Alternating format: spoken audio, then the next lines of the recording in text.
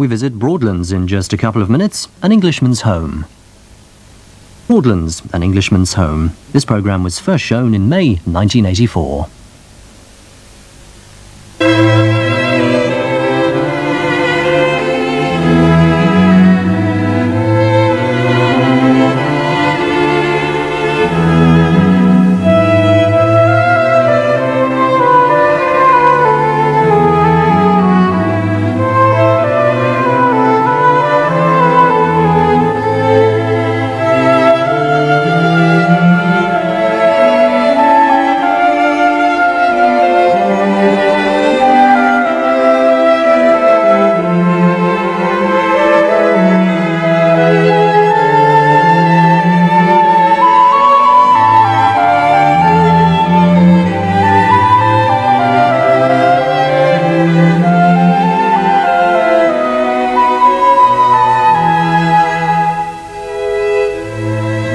First Viscount Palmerston bought Broadlands, he wrote that after he'd managed to remove the farmer out of the house and his stinking yard after him, he found that this place altogether pleases me above any place I know.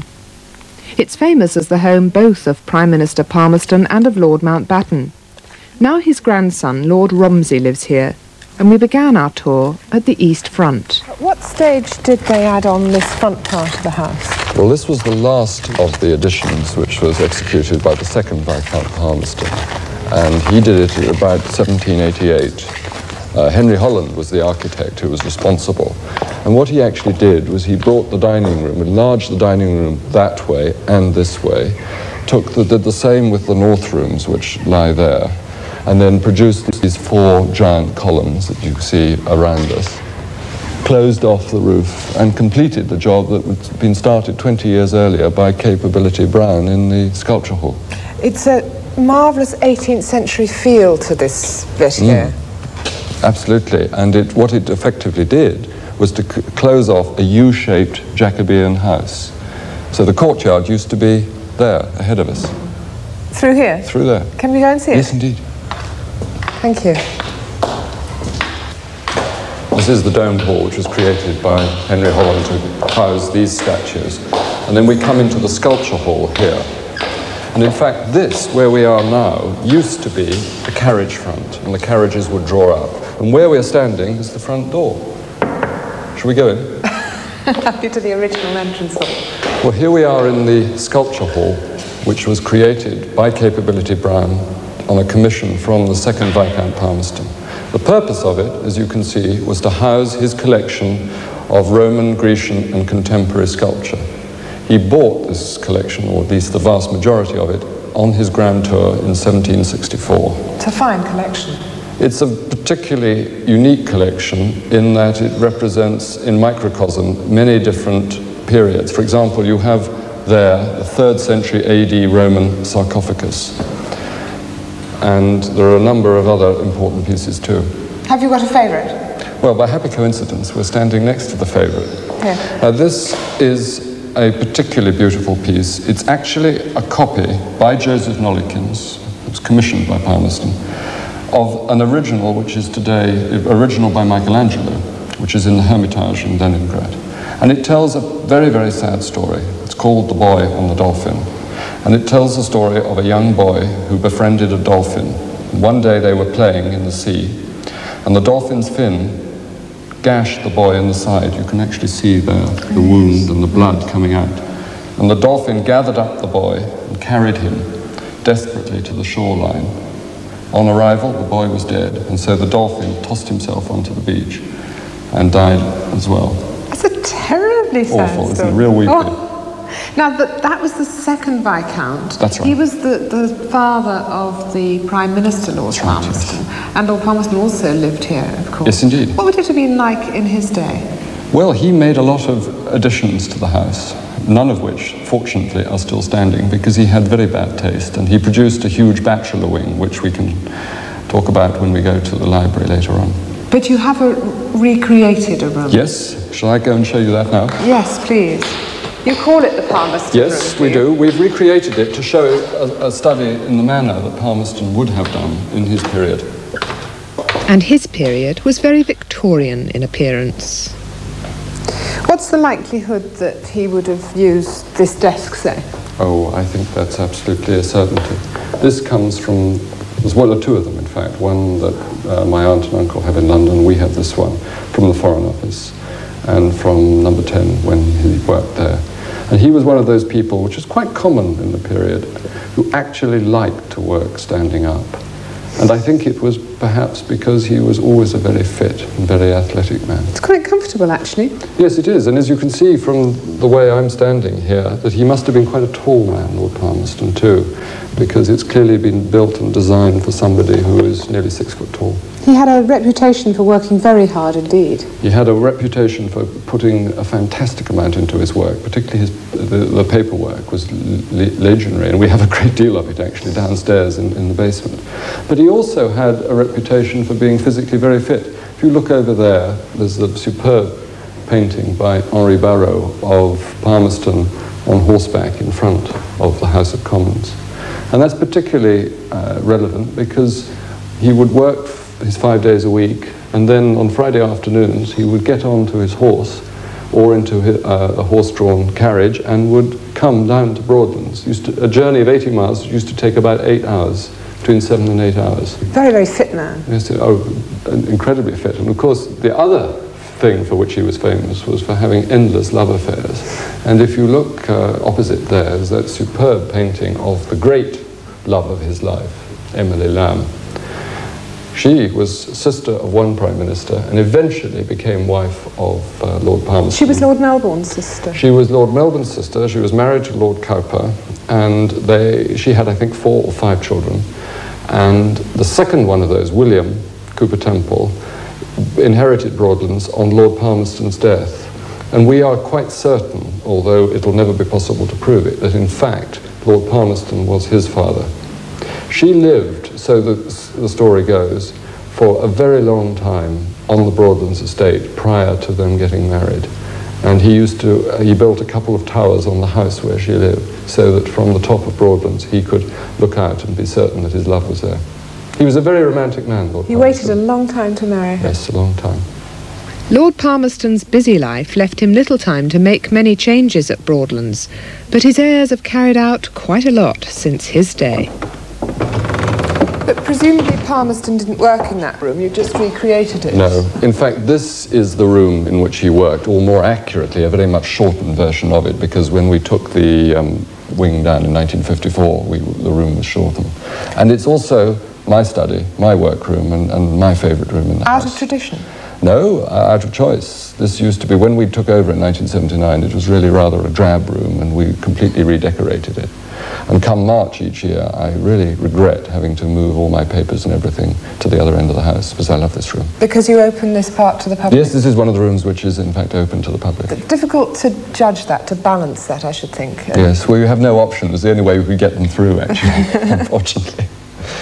Over the door there is uh, Sir Ernest Cassel, who was my great-great-grandfather, uh, grandfather of Edwina Mountbatten. And he uh, was a great friend of George, of Edward VII, who's over in that corner of the room. As you see, they almost looked alike, Yes, they enough. do look alike, don't they? And he earned a nickname which we all think is very amusing called Windsor Castle because of his friendship and because he was responsible for the king's finances. And then in the center of the fire fireplace is, I think, uh, the finest painting in the house, and it's certainly my favorite, which is the Iron Forge by Joseph Wright of Derby. And I particularly like that one because of the superb lighting effect that's been obtained by the slug of molten iron you see hmm. in the middle, lighting the faces of all the other subjects. And that must be a wrench too, because that goes off to exhibitions. Yes, it does. We, we're probably now not going to send it so often in future because it is actually available to the public for six months of the year. And then on the opposite side of the room, there, there are three interesting paintings. You have, look, two on either side of Lord Mountbatten by Carlos Sancha. Now, each of those, one is uh, here on the portico at Broadlands, dressed as uh, Admiral of the Fleet, and the other, uh, in a sense, uh, for him, a more favourite painting is his wearing his uh, Colonel-in-Chief, Colonel of the Lifeguards uniform. And he was particularly fond of that uh, colonelcy because it was a unique honour for a naval man. Yes, and, that, is most unusual to have the two. and then in the middle, that elongated cinemascope painting by Frank Salisbury of the uh, coronation of King George VI, in fact, was commissioned by Lord Mountbatten. And the way you can tell that, if you look to the right of the painting, second from right, you can see Lord Mountbatten riding. And if you look carefully, magically, Lord Harewood has reined in his horse at the appropriate moment and has succeeded in exposing the full length of Lord Mountbatten on horseback. So they're out of line. So they're out of line, but he's in full view. Would you ever have wanted that sort of military career yourself, do you think? Not at the time when I had the option, but with hindsight, yes. I regret very much not having some sort of service background. Yes, that's interesting. Actually, the whole of your family's history is very interesting. You mentioned uh, Windsor Castle, who was Jewish. Yes, what indeed. an interesting, varied lot you Yes, all were. what a bunch of mongrels, really. Come and let us look at some more of our ancestors. Who is the first member of your family that you can trace? The first member was called Idolf, and he lived in Germany in the 5th and 6th century AD. Are you a Protestant by any chance? No, I'm not. I'm Jewish. Ah, what a pity. no, seriously, he, Philip I, that portrait there is the first member of the family of whom we have a portrait, and he was the leading Protestant of his time. He was a prince who organized the revolt in Germany in the 16th century with Martin Luther against Catholic domination. And he, the name Protestant comes from the fact that he drafted the legal protest against the alteration in the Constitution which forbade them from practicing their religion. So a very important man in relig- religious terms as far as this country is concerned. Absolutely, he was the father of Protestantism. Protestantism. What's that? Well, we're going to come to this in a few minutes. This is actually to change to another religion. This is Shamil's Quran. Oh, well, no doubt you'll tell me. The, the whole of this staircase is very much full of pictures. Are they part of your family's history? Every single one of the pictures you see here has some connection with Lord Mountbatten's ancestry. They are the Germans, French, Russians, and it does, after all, represent only one half family. The other staircase on the other side has the other half of the family. Right up to Queen Victoria. Right up to Queen Victoria, who's at the top, yes. And the early pictures at the bottom here, who are they? Well, here, for example, we have Louis VIII, Landgrave of Hesse, and Louis IX. Now, if you look carefully at them, amongst those two magnificent portraits with all their medals, you will notice that each has a peculiar lip. This was a, known as the Hessian lip and as a deformity that I'm delighted to say has long since left the family. Even in one generation, you can see that. Yes, and if you go back further, further down the staircase, you'll see more of them too. How lucky that it went out of the family. Well, otherwise I'd be talking like this, wouldn't I? So the Hesses were the German side of the family. Yes, well now here we are come to the Russian connection. This is a lovely portrait of Tsar Alexander II. Now his brother-in-law was Prince Alexander of Hesse, who was a great warrior. Prince Alexander, in fact, accompanied his sister, who married the Tsarevich. He was then not the Tsar. And he then went, he was already in the Russian army, believe it or not, because this man's grandfather, Tsar Alexander I, had given him a christening present of a commission into the Chevalier Guards. So one year old baby already in the army. However, he came to Russia and he made a very successful career out of being a military man. The only problem was he fell in love with the absolutely beautiful lady in waiting of his sister, who was a mere countess called Julie Hauke. they eloped. This did not meet with the approval of the Tsar nor the Russian Grand Duke, so he was drummed out of the Russian army. And as a result of this morganatic marriage, he was no longer able to use his title. Eventually, the Tsarevich, this man, Alexander, persuaded the then Tsar, Nicholas, to grant the return of the necessary military rank, but he was not allowed to actually return to active service, so he had to go to the Austrians.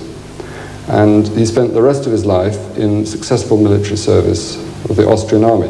And the Countess, his wife, was first of all created the Countess of Battenberg.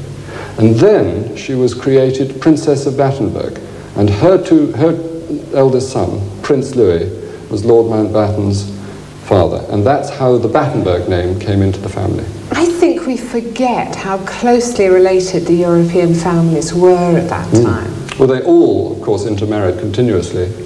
Nothing much has changed over in Europe, actually. It's only in Britain that we have a better. And you've got, you've got the military connections all the way up the stairs. Yes, indeed. This is a magnificent painting of one of Prince Alexander's campaigns. And in fact, here now is the connection with the, the Quran. I wonder where if that you, was gonna if you look at that painting, he is in fact driving Shamil and the, uh, his men out of the Caucasus. And on the battlefield, when he was walking around tending to the wounded, which he used to do, because he was very, extremely concerned always, was Prince Alexander, at the terrible suffering, he found some papers and a Quran. And this is the beautiful and beautifully preserved Quran of Shamil. It's hand painted, isn't it? Absolutely, yes. Isn't Isn't it it superb?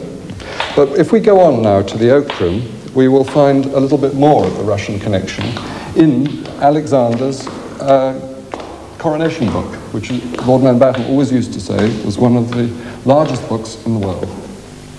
So this is the book. Yes, this is the famous coronation book. We have three of them, in fact. Lovely colours. Marvellous, isn't it? This was the record that they gave to all the guests at the end of uh, the celebrations. The idea being that there was no, you know, there was no television, there was no radio, there weren't even proper newspapers in Russia. So they gave, as you said earlier on, a kind of older version of the Tatler, but everything hand painted and coloured, and it weighs a ton too. Well, I did say that because it's so expensive to do oh, something like Horrific, that. yes. And all in French. All in French, which was the language of the Russian court at the time. And you keep it in this room, which is the in this room, part of the house. which is known as the Oak Room, because of the oak panelling, which comes from the days of the Jacobean period of the house, before Lord Palmerston bought it. And you see there a lovely wooden frieze in the style of Grinling Gibbons. This was commissioned by, the, uh, by Lord Palmerston. And you can see at the top the fowl, at the bottom two fish, and around the frieze various items of fruit. And this was meant to represent the fruits of the Broadlands estate of the time. So this is the very oldest part of the house. But Very- also, you'll be surprised, but this is the most modern room in the house. Watch this. Oh, it's a cinema. Yes? Well, Lord Mountbatten went to Hollywood on his honeymoon. There he met various Hollywood dignitaries and luminaries, and he fell in love with the cinema. He actually made a short movie with uh, Charlie Chaplin. And ever since uh, he, after the war, this was converted into a cinema, and we use it quite frequently to, to show films. So we very nearly lost him. Very nearly lost him. In fact, Sam Goldwyn, in the 30s, when he was a signals officer in the Navy, got him to go back to Hollywood and offered him the job of setting up the MGM sound studio when they first went to sound. And he didn't accept. He didn't accept. History would have changed. We're very glad. Full of surprises. Well, we got one more surprise. Watch this. What's through there? Giant priest hole, isn't it? a bedroom where everybody's carried after they finish their movies. And is it still used as a bedroom? Oh yes, this is the principal uh, guest room, which we use obviously only in the winter because in the summer the, the visitors come through here. But whoever comes to stay, this is the first choice, and it's a perfectly lovely room too. Looks a very comfortable room. Very comfortable, yes. I've managed now to sleep in most of the rooms in, in the house, and this actually, funnily enough, my wife and I slept in this when we returned from our honeymoon for a few weeks because our rooms were being done. It's lovely, the four-poster bed. What's th- this? It's sil- silhouettes. Yes, it's a, uh silhouette vase. It was made to commemorate the Queen's Silver Jubilee in 1977. And it's an amusing idea. But you know, what's fascinating, nothing is new. Come and have a look at the uh, chintz over here. Not easy to find. There we go, Queen Victoria. Oh, that, that's, it's not a new idea at all. No, it's not. And then presumably it existed even before this. But this particular chintz was woven for the Royal Yacht Victoria and Albert in the, 19th, in the 19th And there's Albert century. there as well. Yes, there's Albert. It's fun, isn't it? It's interesting that they should have Victoria and Albert in a place that Palmerston owned, and obviously they didn't get on at all. No, they didn't. But I mean, that's one period in history when the house perhaps was not in favour in that sense. Not in the royal family, anyway. What a view out of the window. Beautiful, isn't it? Lovely. In the morning, too. Thick mist rolls off that, that area, and it really is like a painting when you get up.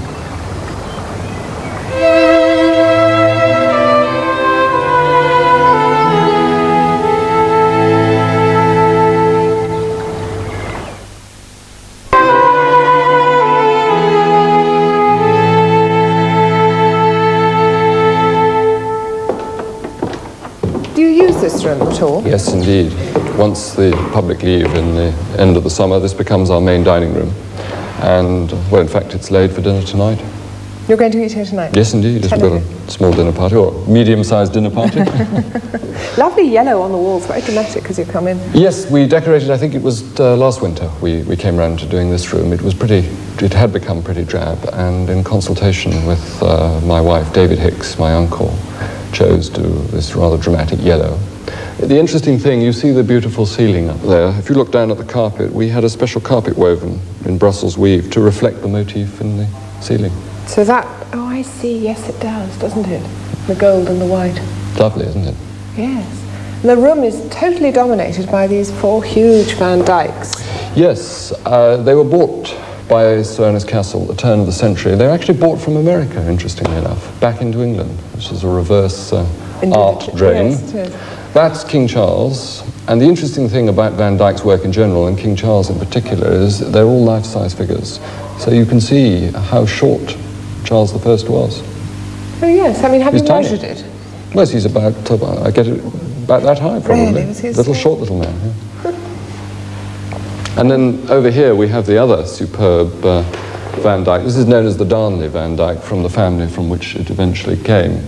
And there are two Stuarts, Lord John and Lord Bernard. And the main th- interesting thing about them is they both tragically were killed in the Civil War. One very quite close to here, Cheriton Heath, and one at Rowton. Oh, yes, you can see by the dates that they were very young when they died. And the picture over the, the, the sideboard there looks as, as though it's a bit wrong. I don't know why. Well, it's, it's three pictures in one. Oh, is it? Uh, at first, it was a flower, floral tribute by Jean-Baptiste Monnoyer. And it was, uh, Palmerston didn't really like it. So his great friend, Sir Joshua Reynolds, rather bravely painted in the center what is known as an eye of sagacity, which uh, I think Palmerston felt he couldn't, having asked him to paint it, he couldn't very well ask him then to do something else. When he was dead, when Reynolds was dead, uh, Sir Thomas Lawrence painted that rather attractive uh, picture of Emma Hamilton, as Bacchante, in fact. And uh, Emma Hamilton was, of course, the wife of, of one of uh, Palmerston's great friends, Sir William Hamilton. Yes, indeed, they met in Italy, didn't Absolutely, yes, and when he was on his tour. Yes. And the whole thing sits very well over, over the sideboard there. Yes, the sideboard is an interesting example of the fact that most of the ground floor furniture in this house was made to stand in exactly the place that it stands today. Very, very little of the furniture. The pier tables, for example, those two pier tables over there were made uh, to, to, to stand where they do today. How lovely to be able to design stone and wood all to match. It was done by Ince and Mayhew. And grills across the radiators. Yes, they're more modern, actually. They come from uh, my late grandmother's house in London, Brook House, Park Lane, and they were done by Rex Whistler. It's one of the few things in the house we have from, from Brook House. Yes. One of the rather amusing sidelines for Lord Mountbatten was that shortly after the war, conscious of the fact that labour costs were ever rising, he was looking for various economies. And he had the brilliant idea of going around all the beautiful 17th century clocks, taking out the old clockwork and inserting modern electric Oh, movements, goodness me. which needed no maintenance. And funnily enough, when we, um, uh, he had the good sense to not to throw these clockworks away, but to keep them. And so when we inherited in 1979, we stumbled upon a crate full of ancient 17th century clockworks, which was fortunate because all of the electric movements had long since seized up. And we, we've had a, one, a little man, in the last three years it's taken him, going around the house, renewing all the uh, ancient uh, clockworks. Matching them must, must have been quite a Yes, business. and balancing them up again, but they now all do work. We had one left over, one clockwork and no case, and I got Garrard's to design a case to go around the clockwork and gave it as a present to my wife. There's another amusing example of Lord Mountbatten's love of, of mixing think, technology with beautiful old objects. Here is a superb Fabergé bell push. If you turn it over, you will see the word Ferranti underneath. Oh, yes, yes. The Ferranti company, to his instruction, put in a transmitter, a small ultra-frequency transmitter, and you can see a little microphone there. And this is a modern bell push, a modern version. You press, you press the bell, there, you could just hear it ringing. if we stay here long enough, someone will come. Yes, well, we better run, hadn't we? Shall we go before somebody finds us out?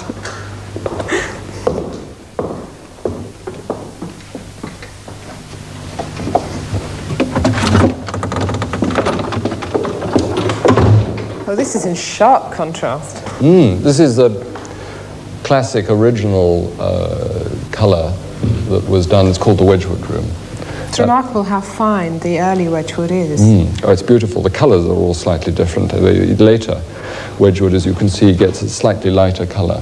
It may well be that, that it age, ages and gets dark with age. During the war, this was one of the main hospital wards. And we get people coming and telling us how they spent time here gazing at the ceiling. there was three ply wood all the way around, including, believe it or not, the bookshelves with the books still in situ, which is odd. But uh, what we have had to do here is to redecorate the room. We did it in 1979. And one of the things we did was to take some of the material from the curtains, cutting the curtains down, in order to beef up the uh, remaining silk damask that you see on the sofas and in the chairs, because that material is totally irreplaceable. There is no way that we could get it woven again, and therefore we had no option. Do you use this room now? Yes, where we're standing is actually there's normally a round table, and we have tea here during the, uh, the closed season, obviously. And has that always been so? Did you Oh yes, you were a yes, little as boy? a child, I, I, I remember many tea parties here. I remember particularly that both my brother and I were very messy eaters, and my grandmother was extremely indulgent and allowed us to throw jam, and goodness knows what else, over all the covers, much, of course, to the quiet horror of my mother. There's a lovely painting there, which is one of Lord Mountbatten's favourites. She's Frances Teresa, nicknamed La Belle Stuart, and she actually is the face that uh, Charles II chose to go on his coins, therefore the prototype Britannia. Oh, and that's the picture. How lovely. And just beside it uh, is the, medallion of your grandfather. Yes, that was done uh, a year before he was killed by Wedgwood. Uh, it's a great honour to be chosen. Uh, it was quite a, an amusing little story because normally they do two of those, one for their own records and one as a presentation to the Queen. And uh, Lord Mountbatten, in fact, was given uh, a look, a look, it was intended at his copy. And by chance, the Queen was here, and the idea was that the chairman of Wedgwood was going to give the large one to the Queen. She was going to take it away with her. Somehow, and I don't know how, it stayed here. And another one had to be made at the factory and sent up to Buckingham Palace. another example of Lord Mountbatten getting his way. Did you think that way about him as a child? What do you mean as somebody who always had got his way? He always got his way except with his family. But they were away an awful lot. They were away a great deal, particularly my grandmother. And I mean, one of the sad things about the house is that for long periods in the 50s, and of course after her death in 1960, there was no real woman here. And, and I think that, that if we've brought something to the house, it's that I'm married, and, and therefore there is a woman living here again. And in, the, in those few years, well, 20 years, when he was alone here, did you get closer to him? Oh, uh, yes, definitely. I used to come down quite a lot, particularly since about 1970, the last 10 years of his life. So during that long period, there wasn't a woman living in the house. No, my mother used to come down a lot and she took care of a lot of the female things, but it's not the same as living in the house. Anyway, shall we go and see my wife? Because she took over where? Well, when we came in 79, we got married here. Must be very difficult deciding how much to redecorate. Well, it's a matter of your available resources and which rooms are most in need of some form of redecoration. We basically try and do one room a year. And by that virtue, it's like the Forth Road Bridge. When we've finished, we'll start again. We've got so many rooms to decorate. Come and meet my wife. Hello, Diane. How do you do, Lady Romsey? How do you do? Nice to Do meet you. down. Thank you. Your husband's been showing me some of the redecoration in the house, which you've been largely responsible for, I believe. Ah, well, I tried very much in conjunction with uh, my husband's uncle. It's been a great help. David Because you- Hicks. That's right. You can imagine how daunting it is to look at a house like this and think, well, where to begin? You've been very brave in some parts, and I must say, I think it comes off. The, the stark colours of the red and the yellow match awfully well the, the modern carpets and... Well, thank you very much. That's most encouraging. Have you done this room then? We've started here. Uh, the carpet was a rather thread- threadbare, plain, deep pink area rug. And we spent a long time trying to decide what we ought to do. The idea we came up with really was that we ought to go back possibly to the idea of what would have been here originally, um, say in the style of Moore, for example. And we then looked around and used the ceiling as inspiration for the carpet and worked to incorporate the design and the colours. And it does pick up the, the gold leaf on the ceiling with the circle in the centre and the decoration around it, which was presumably the whole idea of it. Quite. And the colours Angelica Kauffman's used in her panels, the red and the blue particularly. Do you remember the, the story of Aunt Pammy in the war? Ah, yes, do tell. My, my aunt was entertaining with my grandparents, the troops here, and she was showing them around the house, rather as we've shown you around the house. And she came into this room. In fact, Irving Berlin was there. It was the day that he was playing. And she came into this room and she looked up. She couldn't think what to say about the drawing room. And then she saw the Angelica Kauffman uh, lozenges and she thought, oh, yes, how, that would be interesting. She started to tell the story and she couldn't remember the name. So she came and said, these magnificent lozenges are by Helena Rubinstein. the name sounded like as if it would fit. Irving Berlin was staying here, and of course, we've had a lot of entertainers here. We've had a lot of very famous actors and actresses. Absolutely. I mean, my uh, main memory of three particular people that we used to meet in childhood were, were uh, Malcolm Sargent, who was a marvellous character, and I remember him very well. Noel Coward, obviously, too, was a close friend of the family. And um, the other person that I have very fond memories and have a treasured photograph of walking hand in hand on the lawn was Pandit Nehru, the Indian Prime Minister.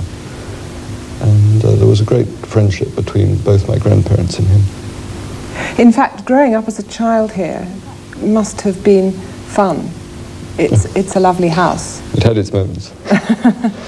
I remember there were some horrifying moments, though, or at least not horrifying with hindsight. There was a, there was a particularly beautiful piece of porcelain which had been in the family for a hundred odd years. In fact, uh, a rose bow and ewer, which belonged to Marie Antoinette and had been given by Josephine Beauharnais a few days before she married Napoleon to Lady Rodney and then passed into our family. And I was about five or six, I was playing around in the corner of this room, and I knocked this porcelain, which shattered into a thousand pieces. There was a large party of grown-ups in the room, and they all looked absolutely horrified.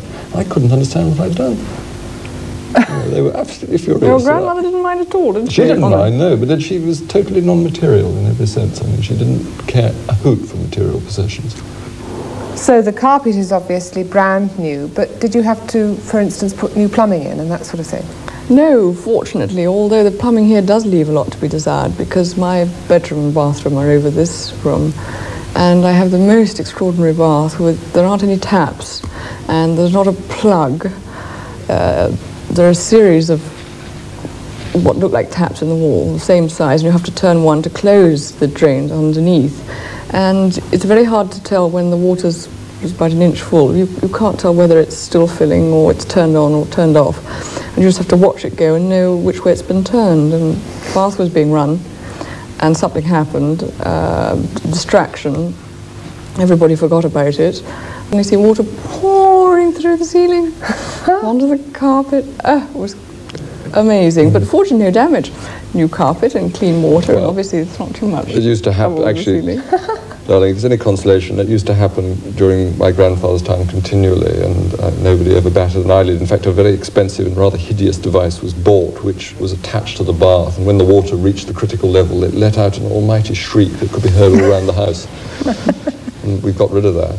Funnily enough, thinking of plumbing reminds me of another oh absolutely extraordinary story that I remember as being true. My aunt, again, Pammy, had a mongoose as a pet taking over from my grandmother, always had peculiar pets. And I can remember this thing, it was called Rikki Tikki Tavi, and it was about that long, rather like a sort of squirrel. And we do have extraordinary plumbing in this house with rather large waste pipes and things. This mongoose had a habit of getting into the plumbing, going down one plug hole. And one particularly distinguished visitor was half asleep in his bath one day with his feet up on the end, and up popped the mongoose out of the waste pipe and bit him. and uh, he really did get a shock. Wonderful. Oh, whatever happened to him? Mongoose. Yes. Oh, I'm afraid some terrible, dreadful ending. I think it got it, it got attacked by some creature outside. I must say Broadlands is in some of the most beautiful parkland that I've yet seen.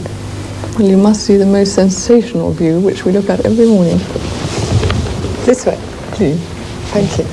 My bedroom. With the river flowing down by the by the edge of it. That's oh, right. Normally, there Are are the fish? salmon, trout, even the odd pike. Lord Mount Temple once saw a pike, grabbed a shotgun, and actually shot a pike in the water, which is almost unheard of. Oh, it's wonderful, isn't it? Isn't it glorious? The only sad thing is that this evening all the swans and duck appear to have gone. Do you come out here and enjoy this view very often?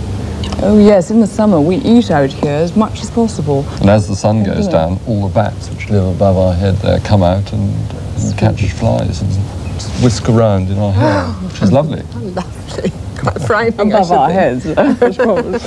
And I wonder who stood on these steps, if you think of the history of the house. Quite.